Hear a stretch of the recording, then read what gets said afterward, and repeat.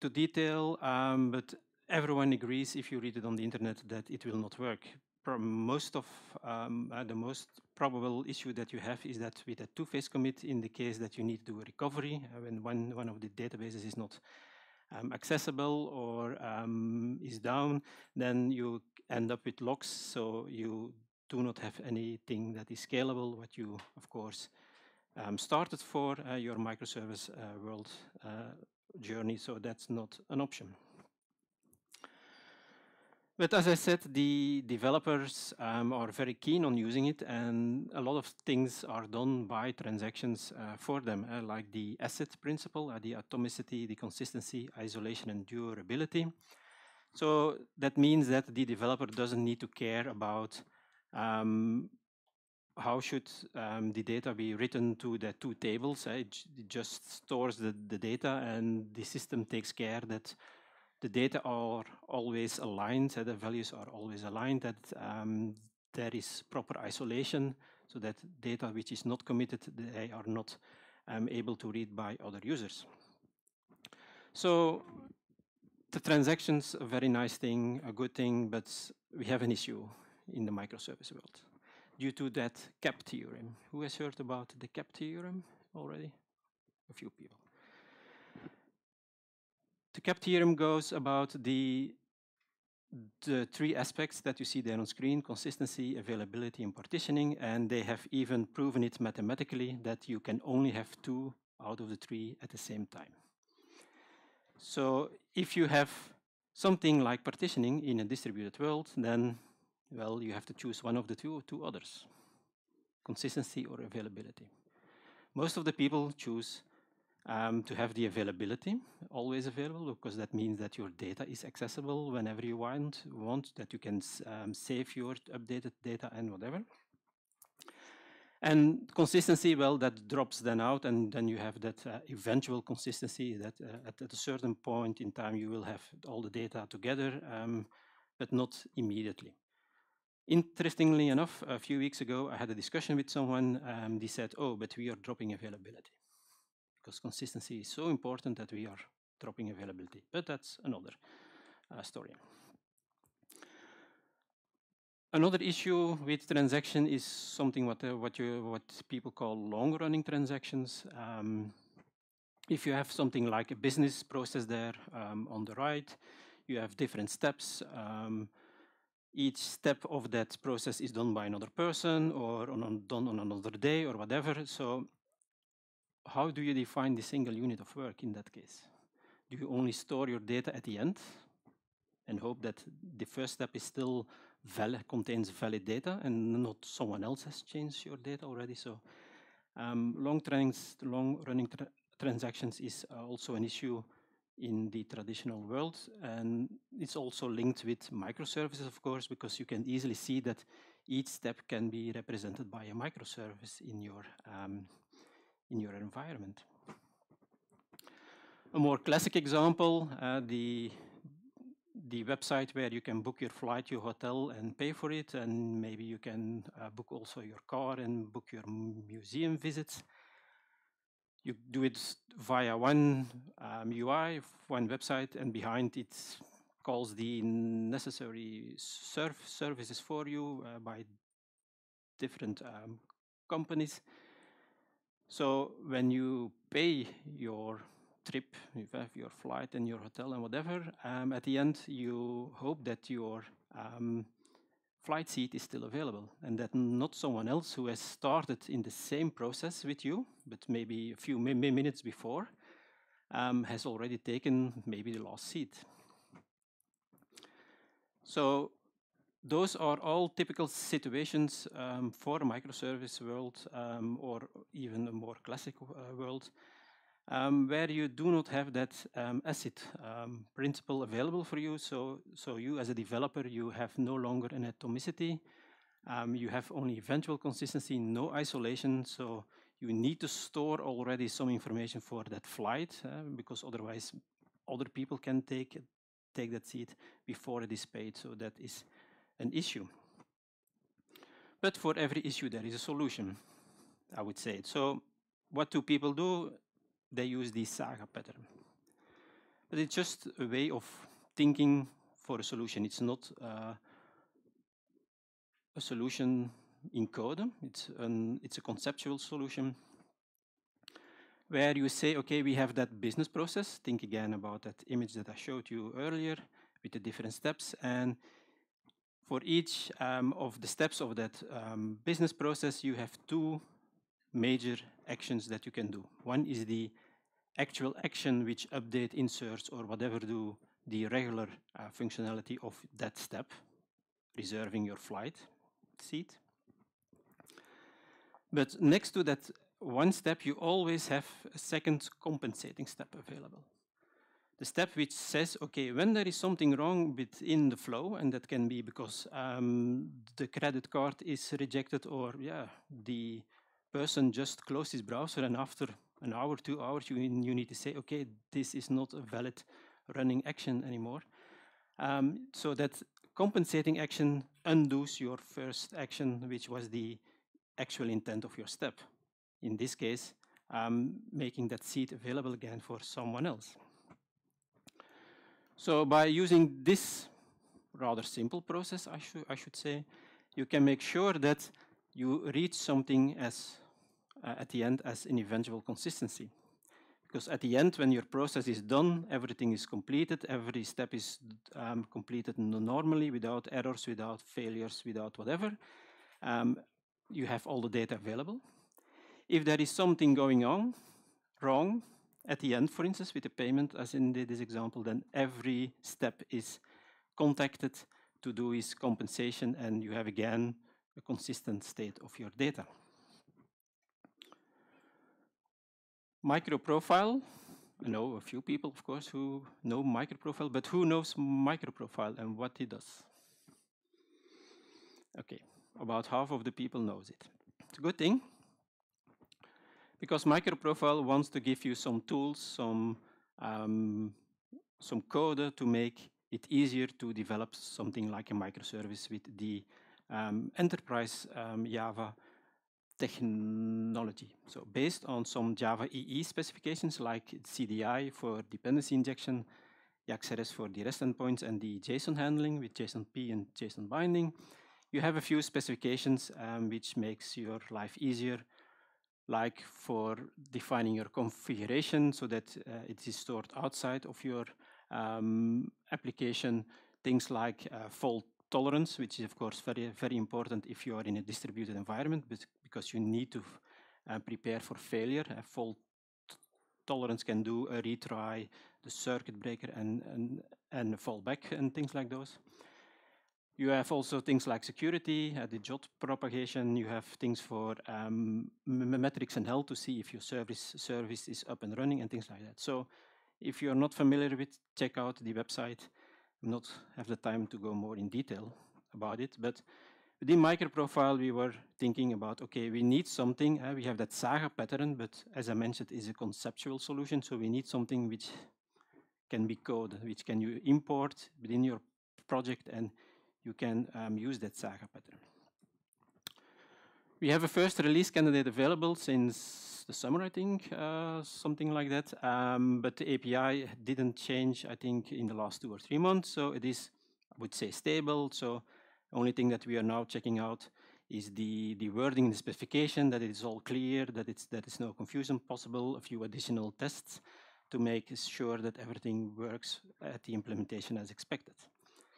And the microprofile LRA is um, based on that sagas, that the compensatable actions, very loose coupled, uh, built on top of JAX-RS, loosely coupled because the only thing which is propagated and linking all your um, microservices together in one transaction is one single header, which is um, handled to all your services.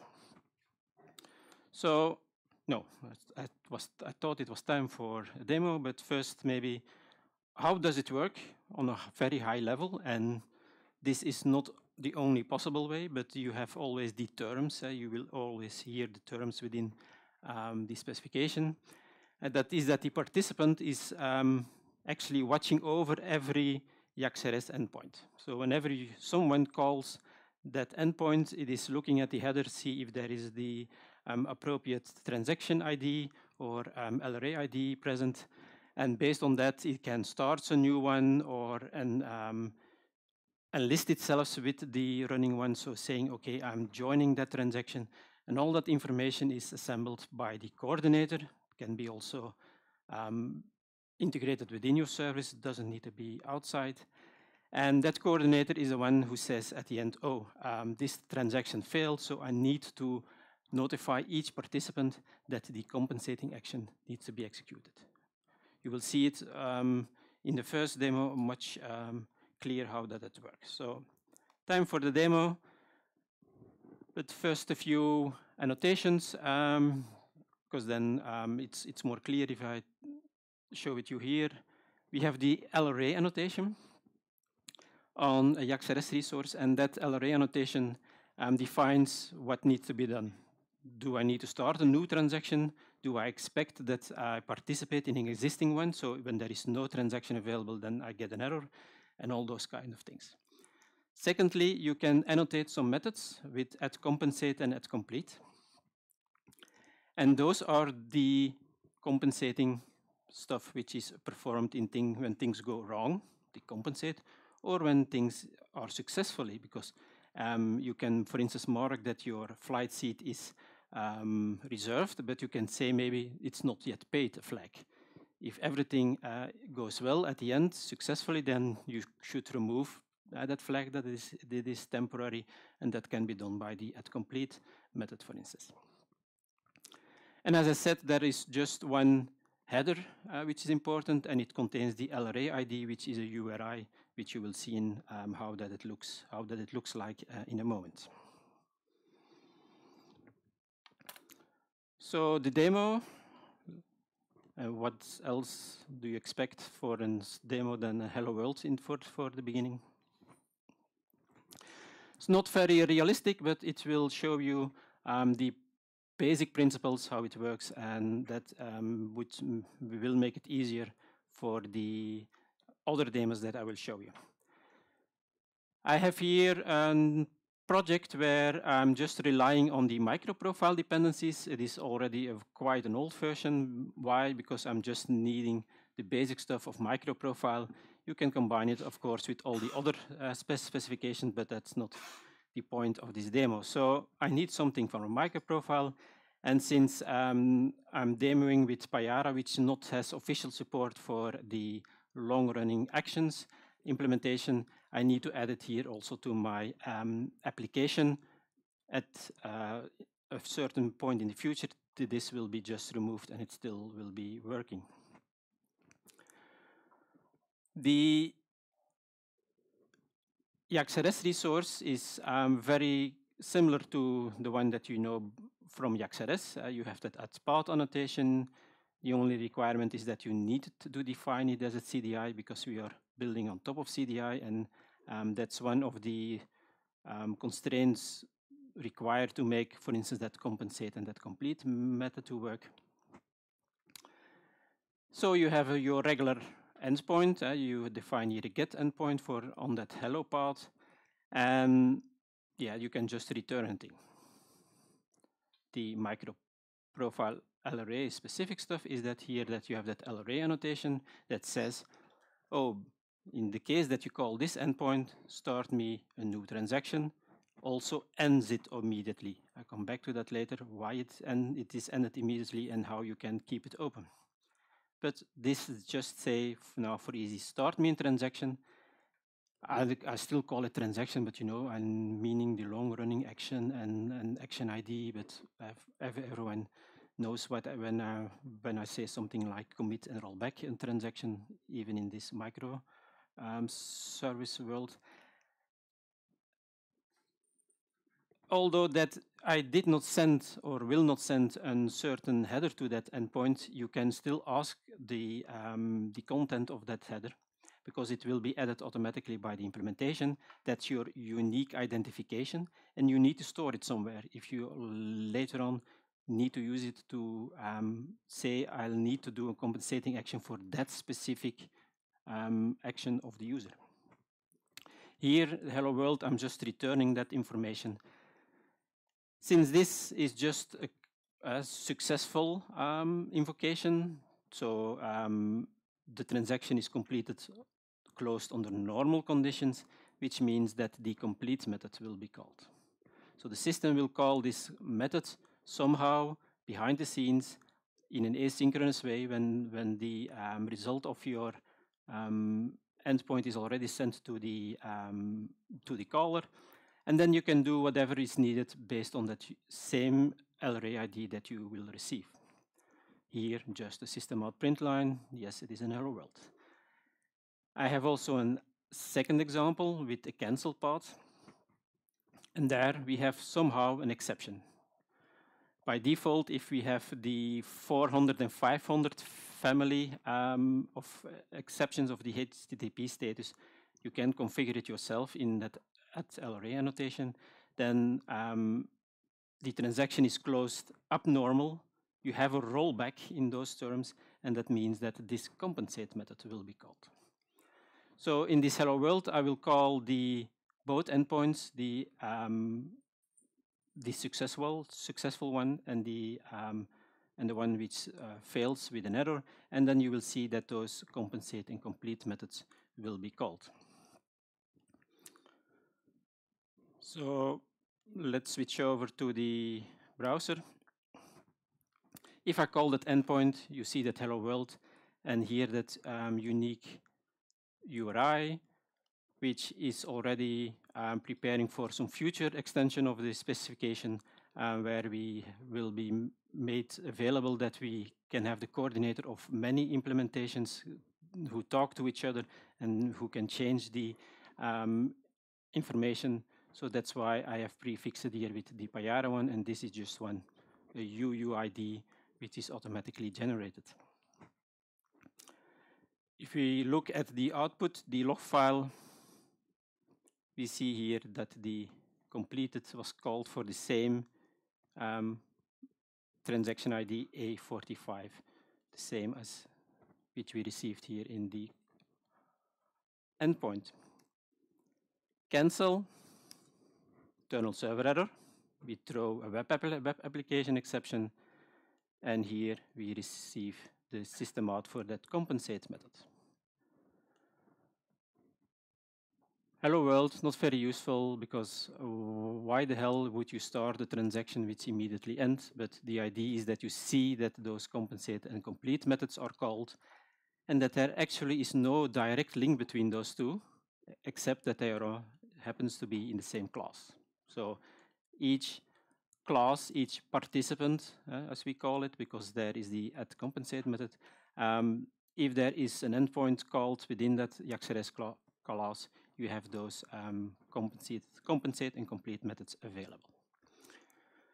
Let's go to a more realistic example. Yeah? Um, we need not only be a hello world type thing, but we need a real distributed example where we, we start up three services, three different JVMs, okay, all on my machine, but actually it can be located in three different parts of the world if you like it, not that it is um, recommended.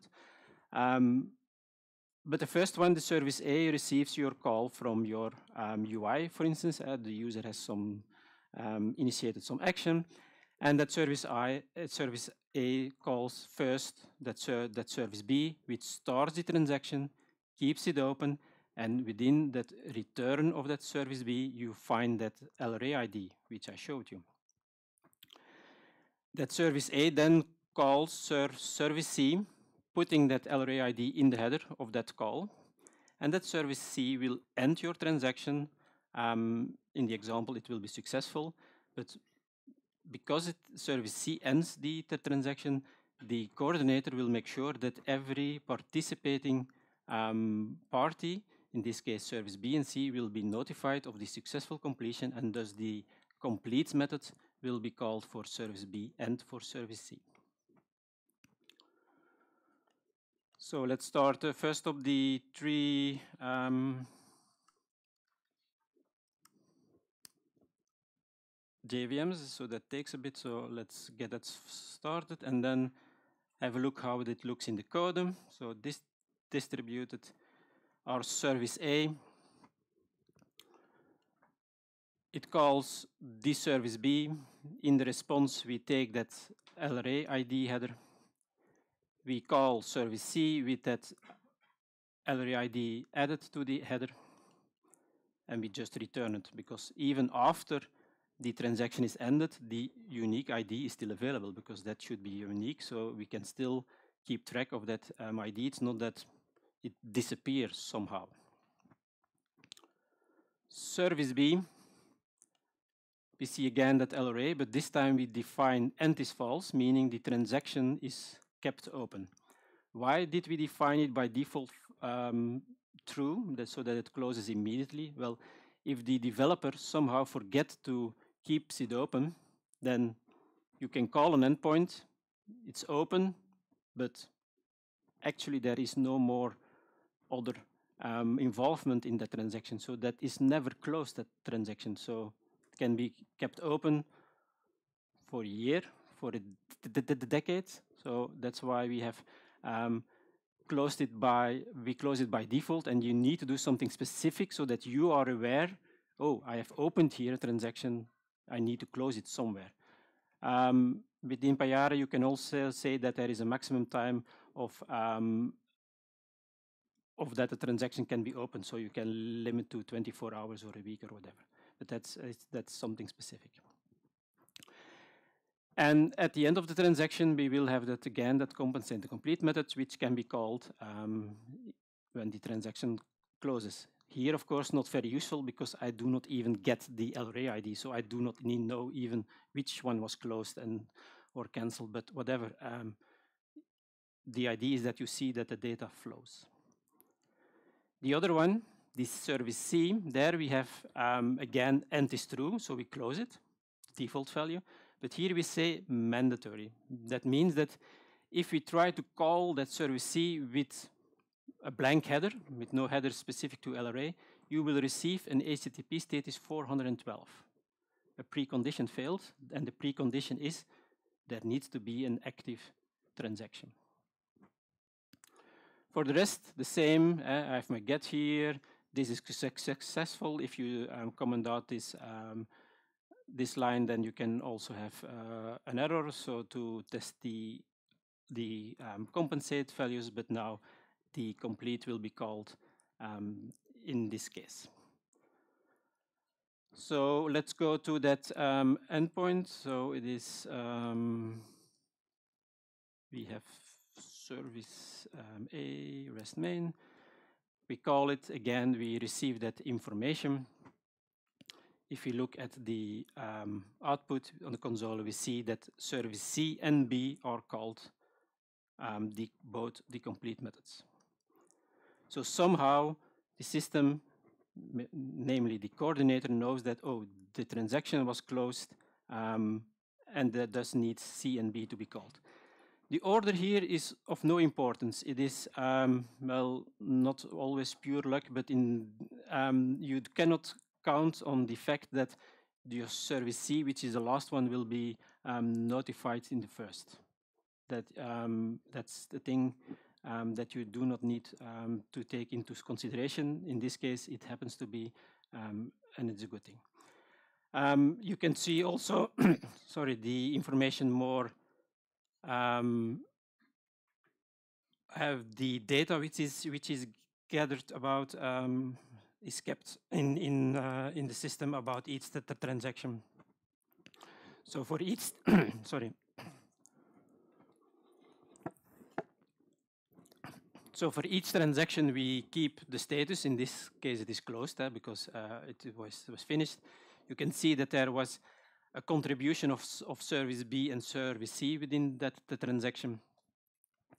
And both of the transactions, uh, both of the participants, sorry, reported that they have done all the compensating, uh, here all the complete actions, and they um, and the system says then, okay, everything is fine, and I hope I hope that I've talked enough indeed, and then we know.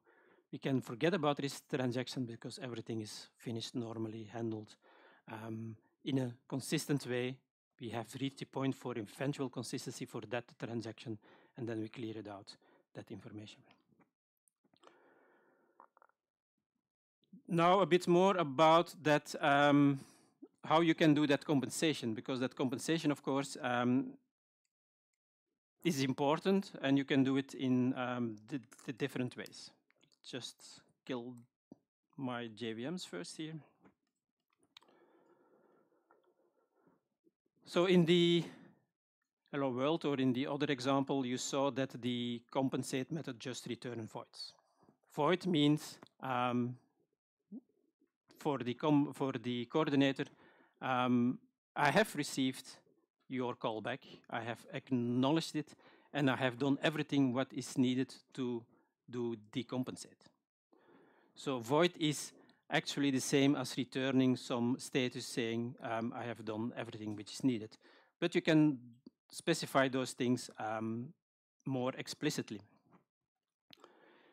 Here in that compensate uh, method, I explicitly return a status because that compensating can take some time. It can even start up a new transaction because um, it can call other services. It needs to wait maybe for acknowledgement that it is fixed over there, uh, that it is um, that the action is done over there.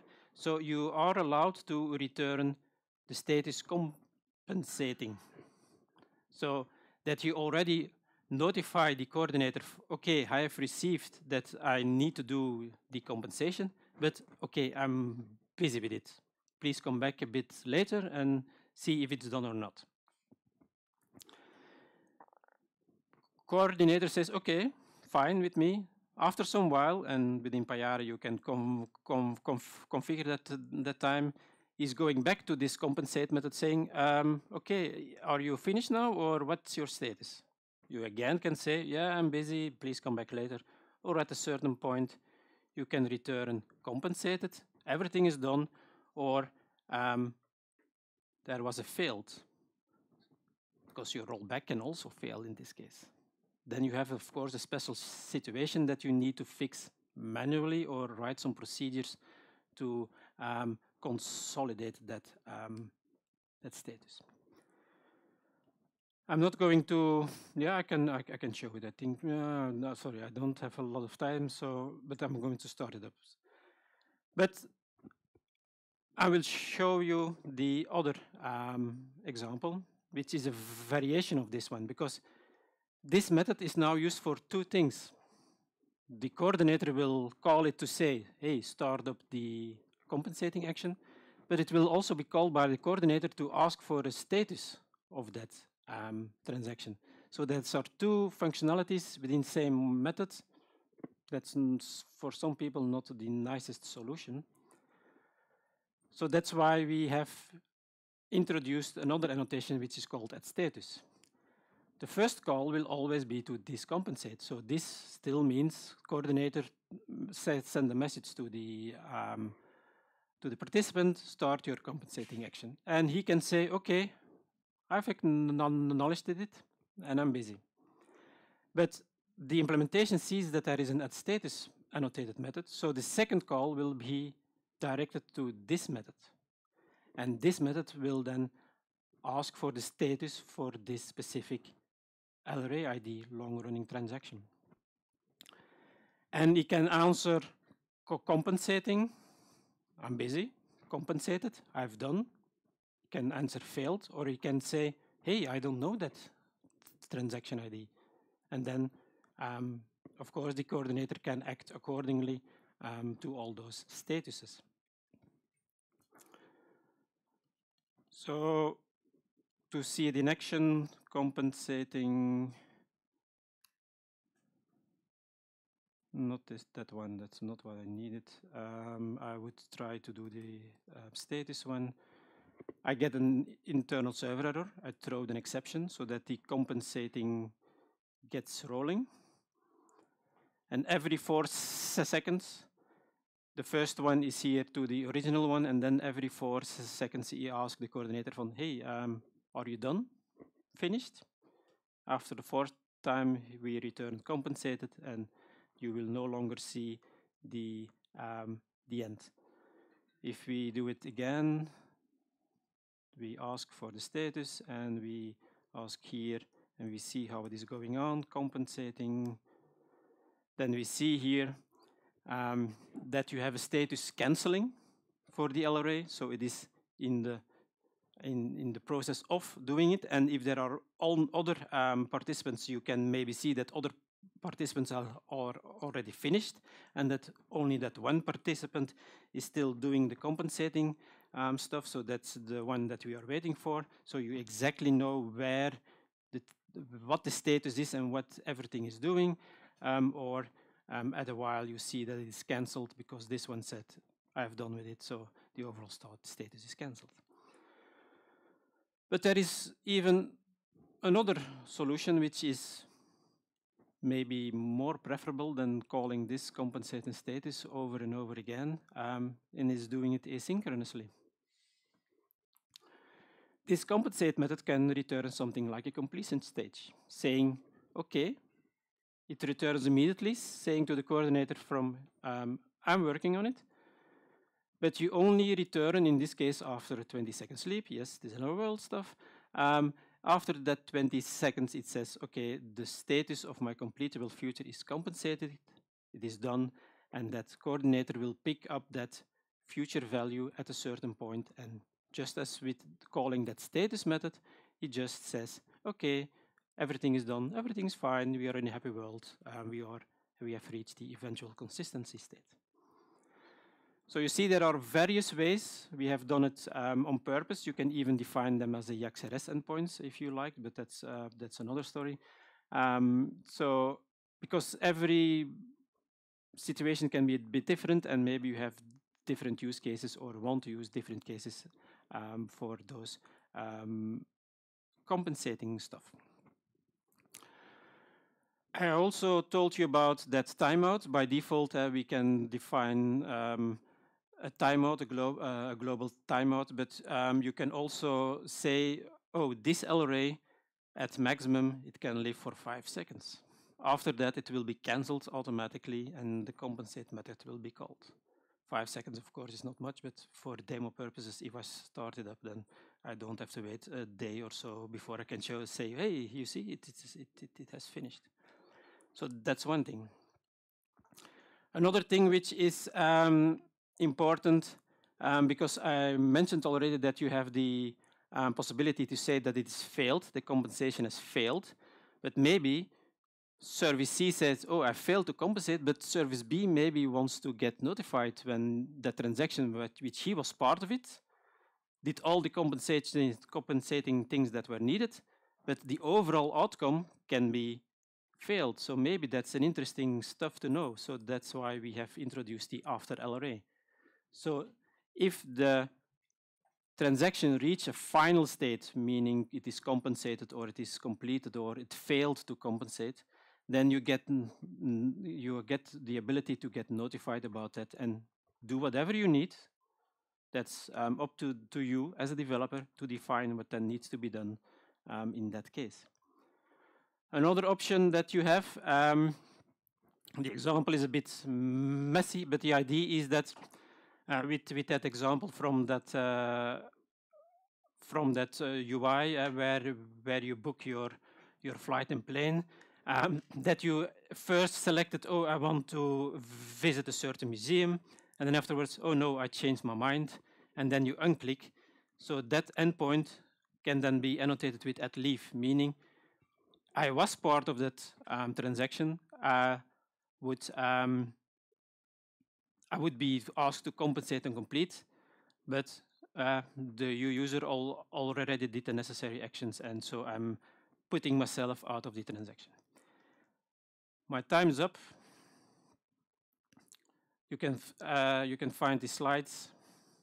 I will I will share the link on Twitter. But the idea is that you have seen a few things about transaction in the classical way, and how um, you have issues in a microservice world, how microprofile LRA with that compensatable actions can um, give you um, maybe a nice solution. Um, so thank you for your attention. If you have questions, please come over um, and then we can discuss them, of course. Thank you.